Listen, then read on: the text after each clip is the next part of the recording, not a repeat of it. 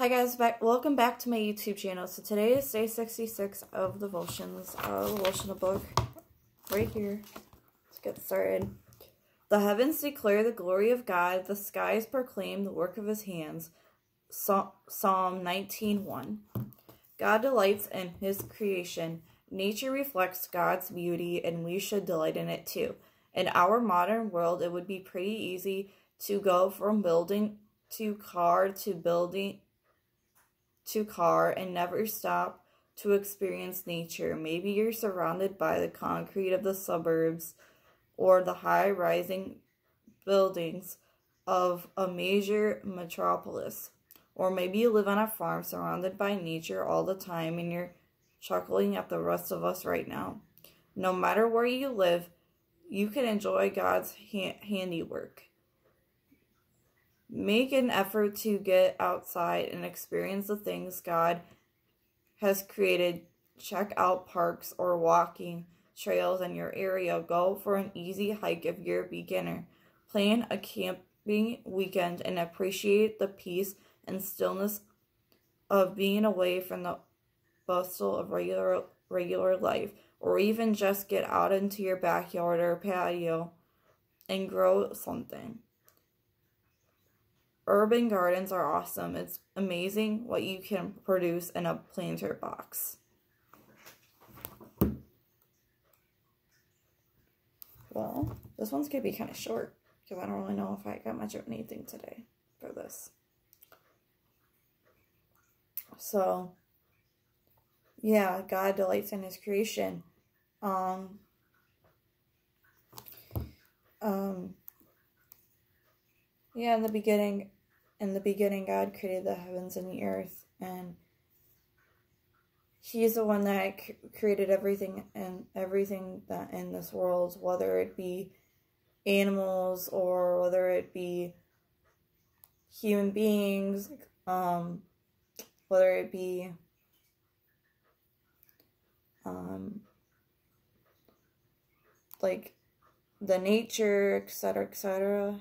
He he's created a lot of a lot of things, and we need to learn how to delight in God's creation. We need to learn how to um, appreciate what God has made for us, and we need to learn how to appreciate the things that we do have in our life. It doesn't just have to be about God's creation. It should be also about the people we have in our life, for instance. It can be any anyone. It could be a family member. It could be um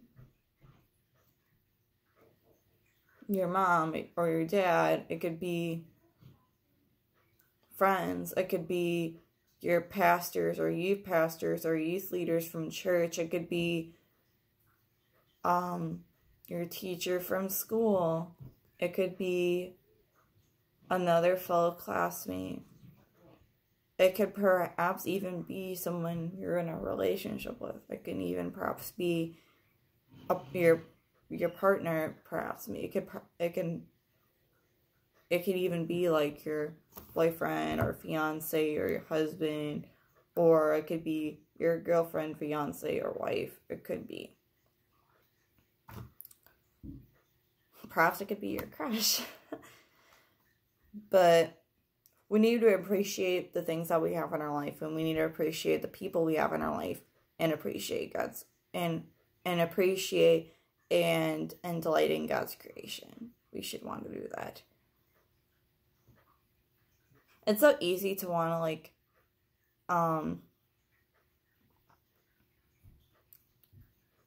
to like forget about um the um the need like um the outdoors and the nature and God's creation and be so focused on how busy we get, whether it be work, family, whether it be making plans with friends that doesn't include the outdoors, whether it be going on vacation, doesn't matter what it is.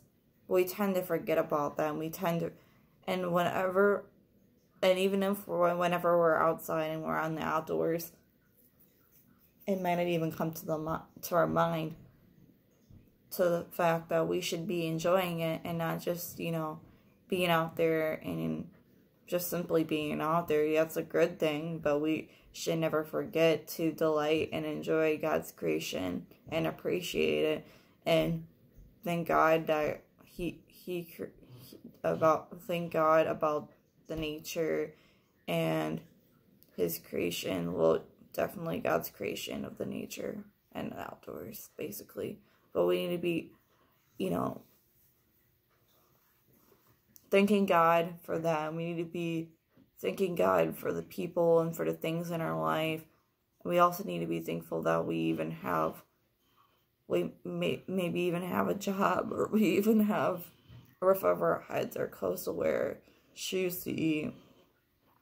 We have a roof over our heads um that our parents can provide for us.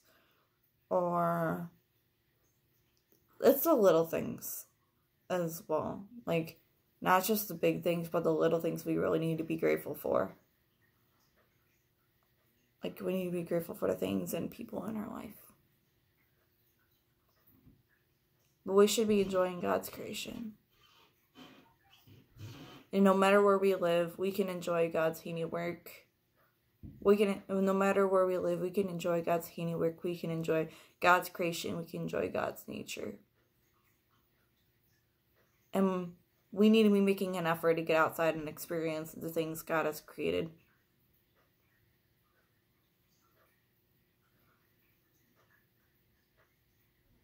We need to make an effort out of our day to be outside and experience the things God has created, even if it's just for an hour a day when it's like obviously nice weather. If it's like obviously if it's raining or if it's storming, then yeah, maybe you should stay inside for that. But if it's like a decent day, even if it's just cloudy, partly cloudy, partly sunny and cloudy, sunny, just take take some time out of your day to go outside and experience and enjoy God's creation and nature. To enjoy God's nature and and yeah. But I believe that's all I have for you today, but I hope you enjoy this devotional. God spoke to you. Stay tuned for the next devotional. If you haven't already, please like, subscribe, turn on those notifications, stay tuned for all my videos. I hope you guys have a great day, and I'll see you guys later. Bye.